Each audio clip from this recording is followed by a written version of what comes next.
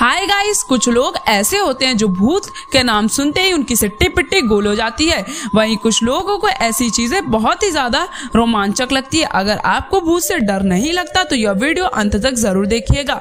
एक भूतिया घर में 10 घंटे से ज़्यादा बिताने वाले व्यक्ति को 14 लाख रुपए दिए जाते हैं। इस डरावने घर का नाम मैकमी मैनर है। इसे टॉर्चर हाउस के नाम से भी बुलाया जाता है।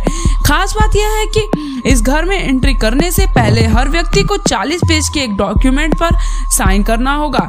इसके साथ ही किसी कारण भी मौत होने पर उनकी ज़िम्मेदारी नहीं होगी। अमेरिका के टेनेसी के समर टाउन में मौजूद इस घर को सबसे डरावना भूतिया घर के रूप में जाना जाता है।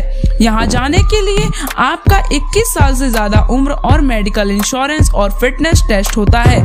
यहाँ जाने वाले व्यक्ति को कई प्रकार से टॉर्चर किया जाता है। अगर आपकी उम्र 18 से 20 साल के बीच है तो आपके पेरेंट्स की सहमति ज़रूरी है।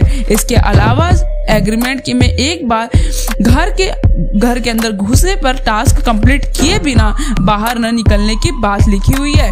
केवल मेडिकल कंडीशन खराब होने पर ही कोई बाहर आ सकता है। घर के मालिक महकमी ने कहा है कि मैं यही चाहता हूँ कि जो भी यहाँ आने की सोच रहा है वो दूसरों के अनुभव जान ले। इसके अलावा घर की सारी जानकारी आपको दी, दी जाएगी। कहाँ पर चाबियाँ रखी हुई हैं जिससे वह बाहर आ सके। लेकिन यह पूरी तरह से उस व्यक्ति पर निर्भर करता है कि अंदर पागलपन शुरू होने के बाद वह कितना याद रख पाता है। क्या आप इस घर में जाना पसंद करेंगे? कमेंट सेक्शन में अपना मत भूलिएगा।